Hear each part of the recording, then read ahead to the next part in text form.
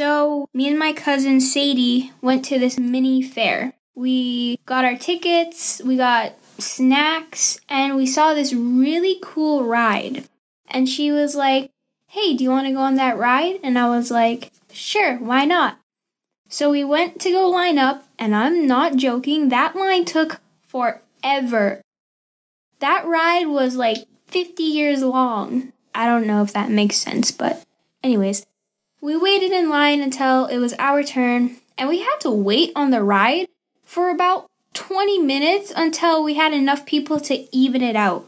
And it started going. And I had my phone in my hand recording me on the ride. So I was only holding on with one hand, and I was on the outside of the ride, and my cousin was on the inside of the ride, so I was in more danger. The ride started going, going, going.